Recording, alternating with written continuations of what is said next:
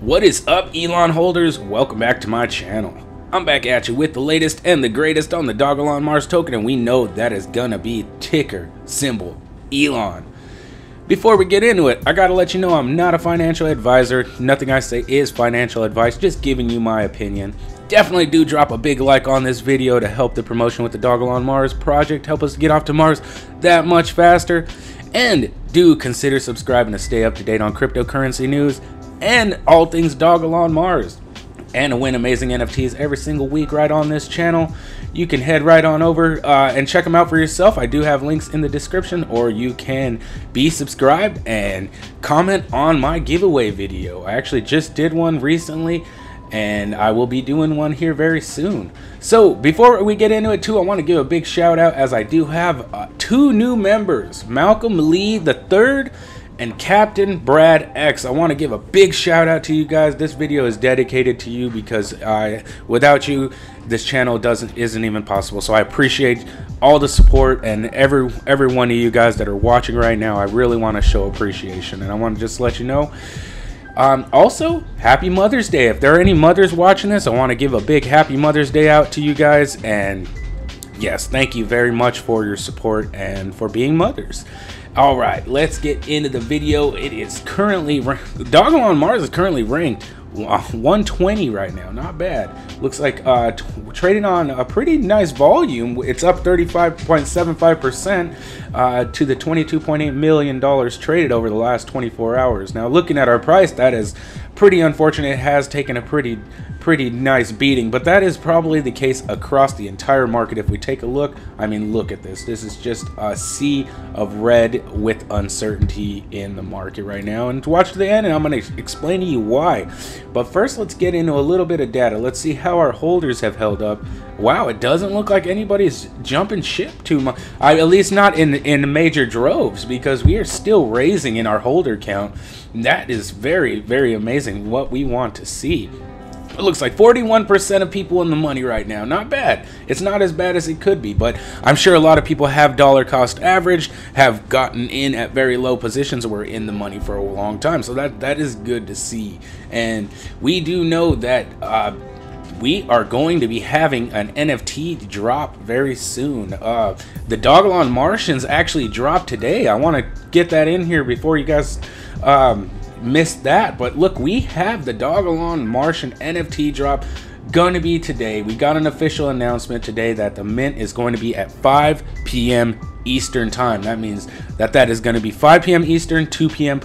Pacific, and yeah, so not one of them has been minted yet, but I'm sure there are a lot of people itching to mint one of these. So I want to give a big shout out to that and make sure that that does not get missed. So let's take a look at the Elon chart right now. I mean, boy, this is looking pretty bloody. It's not, it's, we have uh, gotten out of this channel. That is pretty unfortunate. I mean, yeah, but it, does still appear to be forming the still same pattern on the uh, one day chart. Yeah, this is the one day chart, but it does look like we are going to need to establish a new a new support level because this is kind of a bummer that we have broke below this level here.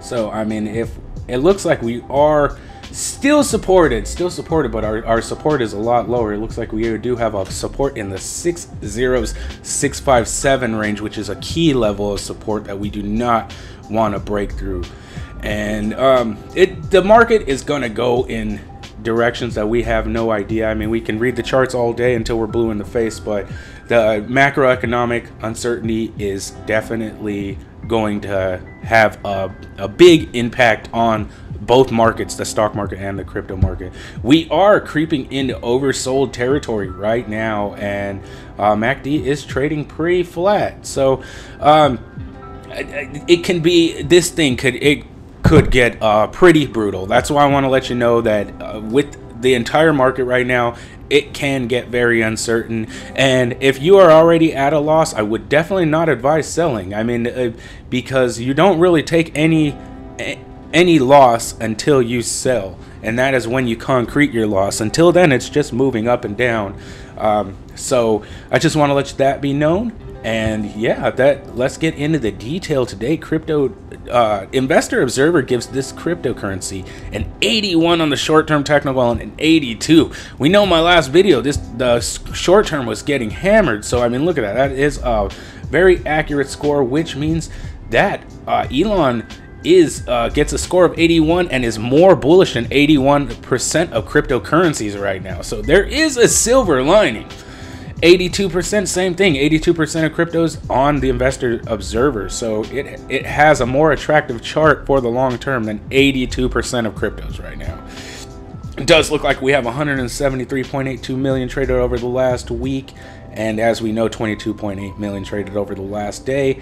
And the entire market it, i mean absolutely everything is pretty much blood red. There are a few that have held but i'm as far as holding in this market, Elon has done a tremendous job. I just want to let that be known. I truly do feel that Elon has done an amazing job. So, yes, let's get on over to why the cryptocurrency markets are down today. And there's a few reasons. There are going to be a few reasons right here.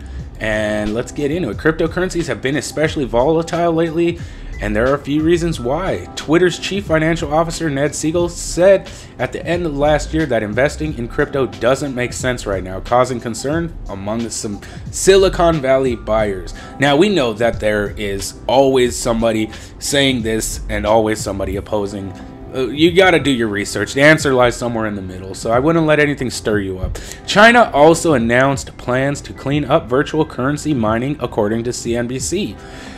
Many crypto mining regions in China are now radically reducing operations. Previous moves by the country to crack down on mining and trading of crypto has previously sent markets plunging, and we know that. I mean, geez, that was all last year. And the unrest in Eastern Europe has contributed to the fall because investors tend to shun risk sensitive assets during uncertain times. And yes, I mean, this is huge. The war in Ukraine is definitely having a, a huge impact right now. But not only that, we do know tomorrow is going to be uh, a national holiday in Russia known as Victory Day. And the way that the war is turning right now, we really have no idea what can be done right now. Um, and it is a very uncertain time. Um, but this is uh, this is a day that represents when they uh, had won in World War II. This is their representing their victory in World War II. So um, it is a big patriotic holiday that, uh, depending on how the war goes, I mean, it could have. Um, it definitely could have an impact. They, we don't know what could be happening in the world right now. Uh, I don't know if I explained that well, but that is basically the gist of it. So, uh, again, I want to give you guys a big happy Mother's Day. I hope you guys are having a great day with your family and uh, just enjoying life. Thank you very much for watching, and I will catch you in the next one.